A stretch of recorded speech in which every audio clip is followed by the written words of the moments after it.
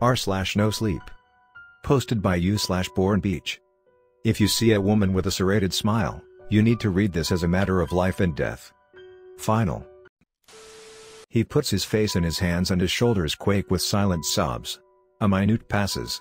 It appears we've reached the end of his account. A harrowing experience, I say, giving my notes a final swipe with the pencil. I straighten up in my chair, flattening the front of my jacket and reaching out to shake his hand. On behalf of the facility, I'd like to thank you for taking the time to share it with us.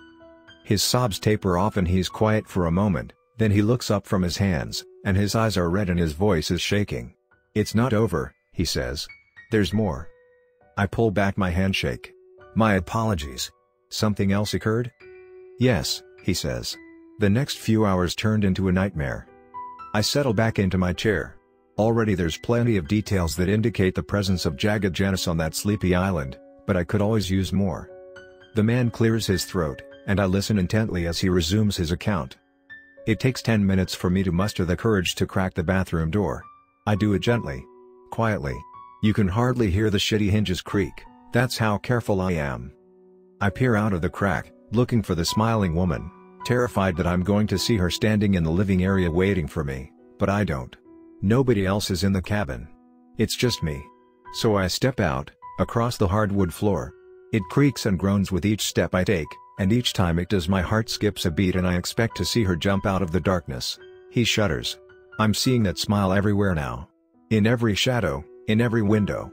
I want to shout and scream, I want to call out to my friends and beg them to pull me out of this horror, but they're beyond the cabin door, out there at the far end of the yard. They're a world away. Just a moment, I say, placing the clipboard down.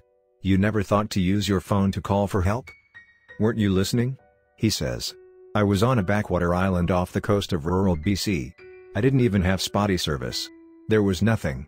My phone was a glorified fucking flashlight. Thank you for clarifying. I mark on my clipboard to investigate the service signal in the area. If it turns out that there is cellular service, then it's possible he's lied about other aspects of his account. A disappointing prospect. Continue. Our tents are in the far end of the yard, so I'm psyching myself up to book it out of the front door. I've got my hand on the knob and I'm ready to fling it open and scream bloody murder, and that's when I hear it. His fingers thrown the metal desk. Tap. Tap. Tap. I look at the window beside the front door, and I see a long arm, in a frayed sleeve with crooked fingers playing against the glass. They're drumming a melody, but it's discordant. Strange. It's not music, but more like noise masquerading as song. He drops his burned cigarette into the ashtray and reaches for another. I hear her voice again. I see you, she says, in this gravelly, guttural voice. The tapping gets faster, heavier. I pull away from the front door, and fall back to the shadows of the cabin. He lights the smoke and brings it to his lips, then pauses. I see her head crane down to the window. Her eyes gleam in the moonlight, darting around, swiveling in ways they shouldn't be able to. She's searching again. For something. For me, maybe. I don't know. He pulls on the cigarette, coughing as he spits out a lungful of smoke. I slide the glass of water across the table toward him, and he picks it up and slams the entire thing. When he's finished, he wipes some wetness from his chin and continues. Then, she's gone. Again? I ask, mildly exasperated. There was no part of Janice's legend that indicated her vanishing. He nods. I'm alone, and time passes. Minutes. Maybe hours. He shakes his head. I just sit there in the living room, my ears and eyes straining for any sound, any movement, anything. I'm trembling and breathing in short bursts, terrified if I breathe too much or too heavily she'll hear me. I wonder how long it's been. I wonder how long until morning comes, and somebody wakes up and comes to check on me or use the washroom. I think about using my phone to check the time, but the idea of its backlight revealing my position terrifies me, so I don't. I leave it be and I sit there a while longer. I make several notations on my clipboard. Terror. Inability to move. Shadows. I circle the words with a sigh. Sleep paralysis? I look up at him, wondering how likely it is that this whole experience may be nothing more than a bad dream. Still, the possibility of it being a true account is too valuable to ignore. So then, did you wait until the morning? He laughs. Another drag. Fuck no, he says. It took a while, but eventually I had enough. I got calmer, or maybe just more desperate. I don't know. Maybe I just needed to know that my nightmare had an ending. I make a mark on my form indicating him referencing the experience as a nightmare. Beside it, I scrawl the words confession? Sleep paralysis? So, did you check your phone then? Yeah. He gnaws at his fingernail. A nervous response, often correlated with lying but not necessarily. I'm quivering as I pull the phone from my pocket. My finger presses the power button, and my home screen comes to life. It's a stupid sonic background, and it bathes my face in a blue glow. What time was it? It was 3.34 a.m., about two hours from sunrise. He takes a breath, long and deep. So I put my phone back in my pocket, deciding that I can't wait another two hours. I need to do something now, before that woman comes back. I tell myself to make a run for it. First though, I need to wake up my friends. I don't want to make myself an easy target, so I open my mouth to scream, to scream and run headlong out the cabin door and toward the tents and maybe make it out of there alive and... He pauses, tears coming down his face. He's whimpering now. I tap my pencil rhythmically on the clipboard, my impatience getting the better of me. And? And a hand, long and crooked, wraps itself around my mouth. Something pulls my head back, and I smell rot and decay, and a voice whispers in my ear. I see you. I raise an eyebrow. But you got away? He shrugs, ashing his cigarette in the glass tray. Guess so. I blacked out. When I woke up, it was in a hospital bed surrounded by my friends. The ones from the cabin? Yeah. I check the box labeled survivor. I chew on the eraser of my pencil for a second, before checking one more box. Post-traumatic stress affected. They're all telling me it's their fault, he says. Emily's mumbling about how we never should have come out to the cabin. Steven's talking about how he and I should never have done mushrooms that afternoon.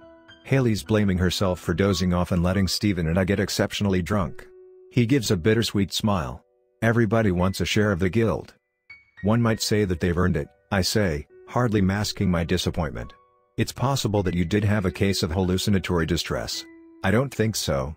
At that point, the mushrooms had worn off hours ago. Hell, by the end of it I wasn't even still drunk. I make a note on the form indicating the subject believed themselves sober at the time of the event. You said the island was quite remote. I'm assuming the hospital wasn't local to it? No, it was off the island, an hour or so inland. The man takes a breath, as though happy that the hard part is over. I must have been out for a day at least, because I don't remember traveling there. My interest peaks again. A recurring aspect of the Janice mythology is a sense of mild amnesia, as well as the presence of minor to severe bite wounds. What did the hospital treat you for? He coughs, clearing his throat. A mild concussion as well as water in my lungs. Water in your lungs? I toss my pencil down in disbelief. Seriously? He shrugs. The doctor didn't understand either. Okay. So your friends leave get well cards, you get discharged a couple days later and now you're here? I lean back in my steel chair, folding my arms. Is that pretty much it? Not exactly, he says darkly. Before they left, I mentioned the smiling woman to them. I sigh, leaning forward. Could you use the exact phrasing? Sure. He shifts, uncomfortable. It's when they're apologizing, taking the blame for everything. I interrupt them and ask them a question, but my voice is like sandpaper so I have to do it twice. There was this woman, I say. She was smiling in the cabin window. Did any of you see her? Stephen and Haley shake their heads. They rub my arm, they tell me I was tripping. They tell me it was a mistake to mix mushrooms and alcohol. They tell me this is their fault, all over again. Like they're not listening to a word that I'm saying. But Emily's standing back, she's staring at me and her eyes are filled with something like regret. Her hands find her pockets, and she buries them and looks away. I say her name. She knows something, I can tell. She's seen the woman too, maybe. My pencil slides down the interview form, circling a word that says witness and annotating it with a small question mark. Did you confront her about this? No, he says with a sigh. She left the room too quickly. I don't think she wanted to speak about it. At least, not in front of Haley and Stephen. That night I was alone. My hospital room was cramped and silent. The only company I had was the apple tree outside my window. It took me a long time to fall asleep, but eventually I did. I settle back into my chair, folding my arms and listening.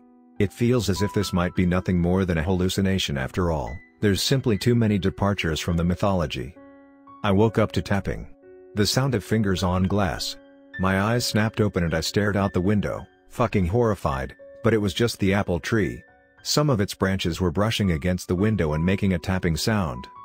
He chuckles, so I roll over to go back to sleep, wondering if this was what my life was going to be like from now on. You know, panicking every time I hear a branch on a window. Or a face in a window. That's when the door creaks open. I frown. To your hospital room? He nods. I start freaking out. My breath hitches in my chest, my body tenses, I know that this is it. The smiling woman's back for real this time. But it's only Emily. She pauses in the doorway and asks me if she can come in. I tell her of course, and she closes the door behind her. She doesn't bother turning on the lights, and as she draws closer, passing through the shafts of moonlight, I see her eyes heavy with bags, her posture slouched and the wetness of tears on her cheeks. She looks exhausted. Devastated. I'm sorry, she says, wiping snot on her sleeve. I'm sorry, I thought she was gone. So, I say, flipping back a page on my clipboard. She knew about the woman after all. I found the spot I'd annotated witness, and erased the question mark. Yeah, the man says. She said a woman attacked her brother when they were both kids. She said the memory wasn't great, because she was maybe four years old at the time, but that she remembered him being dragged backwards by his face. She said the woman was smiling the entire time and kept repeating into the sea with you, over and over again. The man pauses, his voice getting lower as he speaks. The woman held him beneath the surf until he drowned, then she let the waves take him. Disturbing. I tapped the pencil thoughtfully against my chin. And she never brought this up to her parents? She did. Her father told her it was just her imagination. He said that her brother had fallen into the ocean and gotten swept away, and it was already hard enough to deal with without Emily adding to it. So Emily just buried the memory. Moved on. The man looks up at me, his expression despondent. Then, he brings a fingernail to his mouth. That's when we heard it, he says. In the hospital room. A tapping. Tap. Tap. Tap. It came from the window to my right, the one with the old apple tree. Was it the woman? I don't know, he shrugs. I didn't look. I told her not to look either, Emily. I told her to just look at me. Focus on me. I didn't know what she saw as a little girl, down by the ocean, but I knew I didn't want her to see what I'd seen. He shudders. I didn't want her to see that smile. Did she listen to you? He shakes his head, slowly, unhappily. His hand grips a fistful of his own hair. She looked, and when she did, she screamed. She screamed so loud that the lights came on down the hall, and I heard the overnight nurse call out. Then Emily rushed to the window, and I still refused to look, but I heard her beating against it with her fists, clawing at it with her nails. The nurse burst in shortly after and found Emily weeping on the floor. He pulled her out of my room and got a patrol car to drive her home. The man takes a breath. He puts his face in his hands and rubs his eyes. I texted her shortly after, he says. Yes. I look at the folder on my desk labeled correspondence, and then down at the watch on my wrist. It's already more than half hour past the end of my shift. If the texts are everything that's left, I can read them on my own. I rise from the desk and offer my hand to Shag. He gives it a weak squeeze, avoiding my eyes, then leaves the room with my pack of smokes and not another word. I sigh, sitting back down in the chair. Another long day. Another dead end. I adjust my glasses and pull out the text logs. There's only one sheet with a handful of message receipts. The chance is slim, but the possibility that there's something in there about Janice entices me. The allure of having years of my personal research validated proves too much to resist. I begin to read. As I do, I make a note of the timestamps. In my experience, they often paint a picture deeper than the words. 1:34 a.m. Dorian, are you okay? 2:12 a.m. Emily, not really. 2:12 a.m. Dorian, did you see her? 2:45 a.m. Dorian, M, I'm sorry. That was a stupid text. 2:45 a.m. Emily, it's fine. 2:46 a.m. Dorian, I'm guessing you don't feel like talking. 2:46 a.m. Emily, actually, it might be good for me. 2:47 a.m. Dorian, yeah? Me too. 2:47 a.m. Dorian, I never got a chance to tell you earlier. I can't imagine how horrible it must have felt. 2:47 a.m. Dorian, to see what happened to your brother and have your dad not believe you? That's fucked. 2:55 a.m. Dorian, unsent, my bad. We don't have to talk about heavy shit if you don't want to. Did you finish your book on? 2:55 a.m. Emily, it's fine. We were never close anyway. 2.55 am Dorian, sorry to hear. Did you ever tell your mom? 2.56 am Emily, no. My mother was already dying by then. Dad would have killed me. 2.56 am Dorian, fuck. I'm an asshole. How could I forget something like that? Sorry again. 2.57 am Emily, you're not an asshole. As long as I've known you Julie hasn't been my stepmom, she's just been my mom. It's fine. 2.58 am Emily, I'd honestly be shocked if you remembered anything about my birth mom. I mean, even I hardly do. 2.58 am Dorian, thanks for trying to make feel like less of a dick. Appreciate it smile. 2.58 am Emily, besides, you're right. 2.58 am Dorian, I am? About what? 2.59 am Emily, you're right that I would have told her about Jonas if I could have. 2.59 am Emily, by then she was so hopped up on painkillers that I hardly recognized her though. 3 am Dorian, the meds must have been pretty heavy. That's a lot to deal with for a 4-year-old kid. 3.01 am Emily, yeah, her esophageal cancer was bad. She was in a lot of pain near the end. Pretty sure my ass of a father was having an affair at the time too. 3.01 am Dorian, I'm sorry. That's a shitty memory to bring up.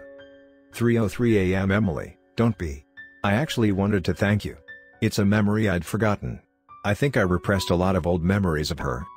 3.04 am Dorian, I can't tell if you're pissed or not. Are you sure you're okay? 3.04 am Emily, yeah. 3.05 am Emily, honest really, if it wasn't for you, I'd probably think I was going crazy right now. 3.05 am Dorian, what? 3.06 am Emily, I saw her too. 3.06 am Dorian, the smiling woman? 3.07 am Dorian, M? 3.12 am Dorian, everything okay? 3.23 am Dorian, who did you see? 3.34 am Emily, I see my mother. I stare at the last word in stunned silence. Her mother? Could she actually have been the origin of the legend? I rub a hand along my jaw, considering what I've heard of Emily's history. She had only been four years old at the time of her brother's death, when she witnessed a woman drag him into the sea. Could that woman have been her own mother? Unlikely, but not impossible. Children often reframe moments of terror to understand the incomprehensible. I reach for my briefcase, unclasping the latches on the front and pull out my laptop. I take a breath, and then open up the database software. Emily's easy enough to find. Her last name is plastered everywhere across her social media, so I plug that in. The search function isn't the fastest, but it does the trick. It takes 30 seconds for the tiny, rotating hourglass to stop spinning and when it does, I see her. Subject, Emily Caldwell. Father, Hank Caldwell. Mother, Janice Caldwell, deceased. I swallow, my hands shaking on the keyboard. Had I finally found Jagged Janice? I pour myself a glass of water, finishing it in two big gulps. It does little to calm my nerves. Still, it's one piece of the puzzle solved, but really it just creates more questions. It doesn't explain several aspects of the man's story. The water in the lungs. The vanishing. Certain pieces don't add up, at least not when compared against the original legend. I hear a knock on the door. Three sharp raps with a knuckle. I get up to answer it, thinking maybe the man's forgotten his phone, or wants to give me back my pack of smokes. When I open it though, there's nobody. I raise an eyebrow, and head back to my laptop. I need to discover the source for these changes, these departures from the Jagged Janice mythology. This time I bring up my web browser, navigating to one of my preferred resources on urban legends. The website's a bit corny, but it's proven accurate and its community aspect has been invaluable in my research. After some scrolling, I bring up the Jagged Janice article. People can leave anecdotal encounters beneath the main text, and sometimes they do. Usually they're all bullshit, and it's simple enough to tell at a glance, but sometimes, one of them catches my eye. It mentions seeing the serrated smile, the tapping fingers, and that they found their infant child dead with water in its lungs. I shake my head. Bullshit, clearly. I prayed at least the infant was still alive, or that the poster was some teenager with nothing better to do. I keep scrolling. I see more keywords. There and then gone. Voice like a meat grinder. To the sea with you. I pause. Swallowing. To the sea with you? Those were the words the man had mentioned Emily said, words she remembered when she witnessed her brother being pulled into the ocean. To the sea with you. My mind spins, but a picture is forming. The guttural, Difficult to understand voice. The drowned brother. I see you. No, she was never saying I see you. She was saying, to the sea with you. The man couldn't understand it though, and he was in such a panic that he defaulted to the simplest phrasing. My heart races, I reach for my phone to make a call. To tell my boss what I've found. It wasn't long ago the facility had an incident with a man with a red notepad, one in which we learned the core principle of all legends, and one which cost many people their lives, that legends evolve. If the Jagged Janice legend has evolved, then we need to allocate additional resources to locating it and neutralizing it. I continue to scroll, noticing many of the anecdotes have been posted in the last week. Several, in the last few days. If even half of them are true, then it'd imply highly increased activity on Janice's part. I hear another knock at the door. Three soft traps. I curse, kicking off from my desk and storming to the door, phone still pressed to my face waiting for my boss to pick up. Once more I swing it open, and once more I look down the cold, empty hallway. Nothing. I slam the door shut and stalk back to the table. My phone continues to ring, and my boss continues to ignore my call. It's really not like her, but I tell myself to relax. She's probably in the middle of supper. I check the watch on my wrist and frown. The display reads 3.34 am, which can't be right. It was 6 o'clock only 20 minutes ago. I heave a sigh, adding broken wristwatch to my list of problems. Then, three more knocks. I have to confess that I'm getting fed up. I'm going to leave this here for now, as it appears my interviewee is having some fun at my expense. Either that, or, well, that isn't really a possibility I'd like to entertain.